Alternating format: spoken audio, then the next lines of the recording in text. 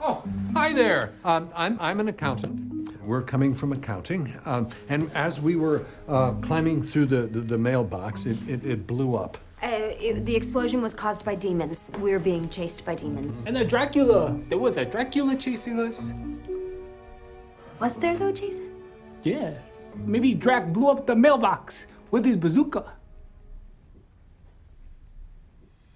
Well, geez Louise, I'm sure glad you're okay. My name's Gwendolyn. Welcome to the good place. I'm Michael, and uh, this is my neutral Janet. Hello. Also, not hello. It's nothing to meet you. End of statement.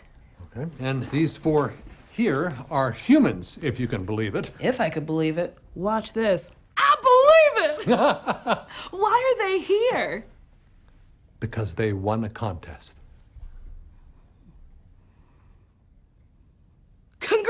Congratulations, guys! Come on in. This is the Correspondence Center. Make yourselves at home. There's a sofa. That's a bowl of fruit. That's the door to the good place. Ooh, there's a fun paperweight shaped like a little hat. I'm sorry. Uh, this right here is is the door to um, the good place. Well, it's a door to the good place, but it won't open for you guys, though. The only door for humans is the official entrance, which is 500 trillion miles north south north of here. So you're kind of just stuck inside.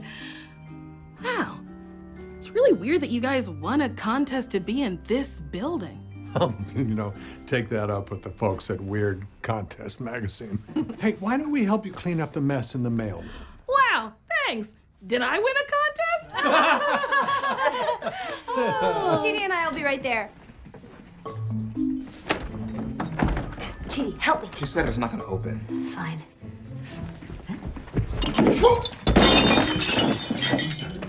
Eleanor! What? This is how I always got out of escape rooms. If you break enough stuff, they open the door and kick you out. Is everything okay in there?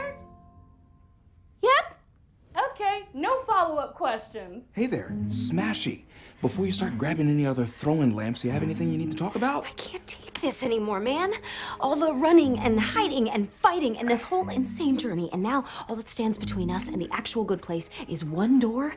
What is that, two inches thick? That's like four Oreos. We're four Oreos from heaven. I know, I know. It's an insane situation, but I am right here with you. So let's take a deep breath. Mm. Hmm. Okay, the smell of the barf from the wave pool is really helping. How? Mm. Why?